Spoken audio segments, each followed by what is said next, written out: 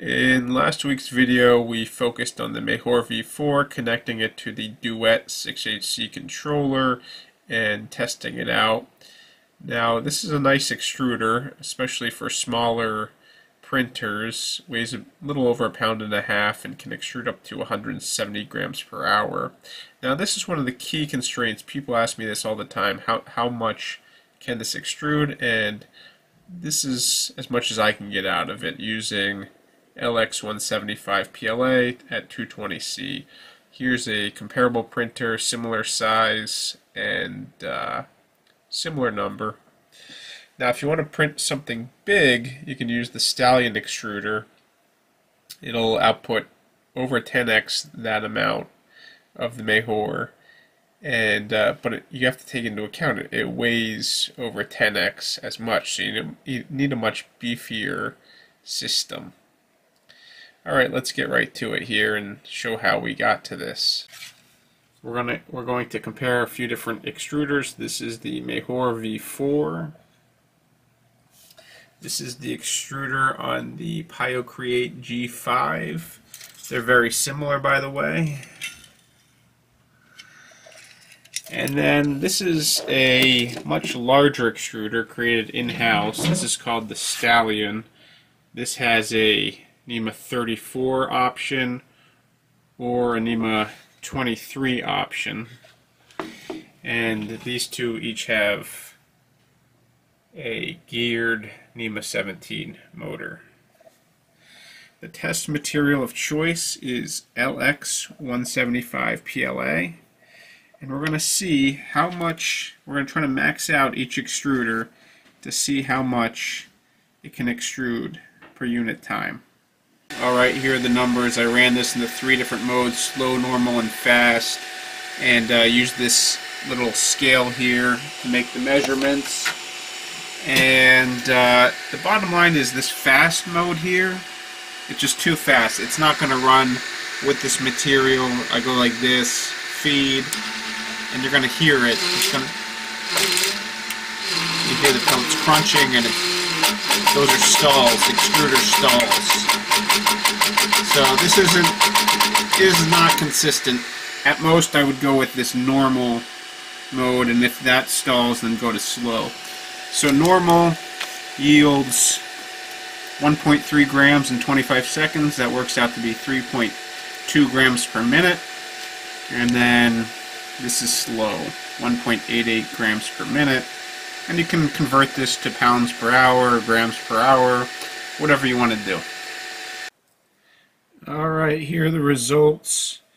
Um, I wouldn't run this thing in the fast mode because the extruder uh, doesn't spin due to the stepper um, not having enough torque.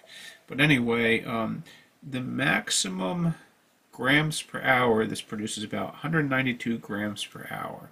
So that's about that's a that's a key constraint of this machine, and it's a question people ask about often.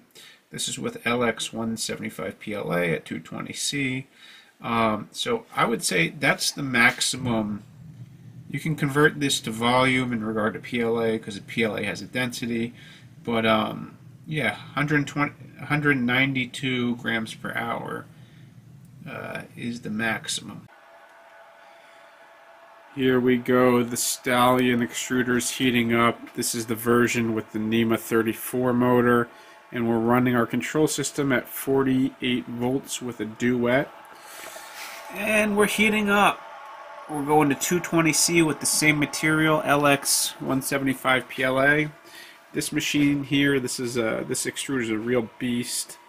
Um, it can do injection molding here and uh, this can also be hooked up for 3D printing so for injection molding this gets a hopper and an adapter and the material goes like this. And then for 3D printing, here is the printing hopper and this whole thing gets turned vertically and then print you can print with it. So I'll be showing you a little bit of this kind of stuff in this video and hopefully some more videos to come. This is a special piece of tooling I've developed for these molds. what we're going to do is take this, this goes up here into this collar like so, and then the molds get clamped in and uh, we injection mold with it. Alright, everything's clamped in place here. Now we're going to injection mold. We're going to do the 45 p RPM setting here.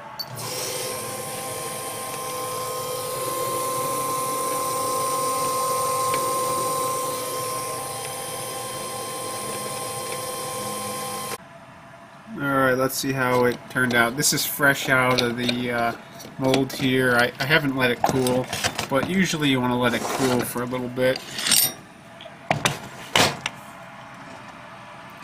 There it is. A little bit of flashing, so it's a little bit over injected, but uh, this is easy to clip off.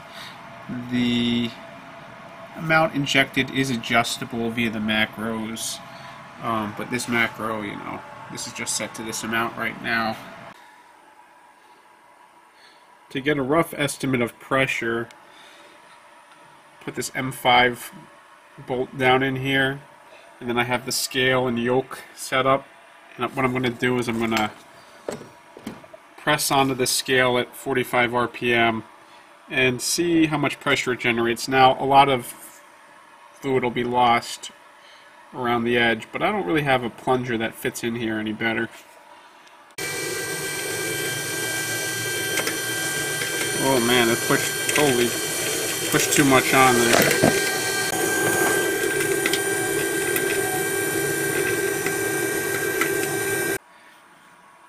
Well, this thing generated a much higher force and pressure than I expected. Um, we're running the NEMA 34 motor here, stepper motor at 48 volts, 4 amps, and it actually maxed out the scale. I did not expect that. This goes up to 25 pounds. So I had to use the scale I stand on, and it went all the way up to 50 pounds of force, and that's just on something, you know, 5 millimeter bolt. And uh, all in all, it generated at least six 1600 psi. Note that some of the material escaped around the sides of the bolt, so I was really impressed by that. I did not think I didn't think it would be anywhere near that, to be honest. So here's a result of one of the horses. Note it's not perfectly clear. It takes a lot of material to. I mean, it's cleared toward the top here, but you know, there's residue left in there from previous injection molds.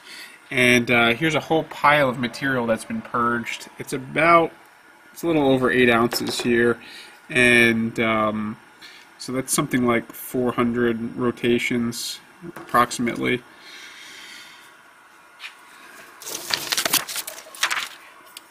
This horse is a quarter inch thick and maybe it's a little bit too thick in general for injection molding. You can go online and find all kinds of charts and uh, the thick stuff here, you can see it didn't quite quite fill in some spots. Here's a spot where it didn't quite fill in these little corner areas. Um, it's very strong though. Um, one day, maybe in a couple months, I'd like to do a video comparing injection molded uh, strength versus 3D printed strength. Well, thank you for watching. Uh, I uh, hope you enjoyed uh, seeing some of the extrusion constraints of these various extruders. Tune in next week and we're going to talk about material constraints.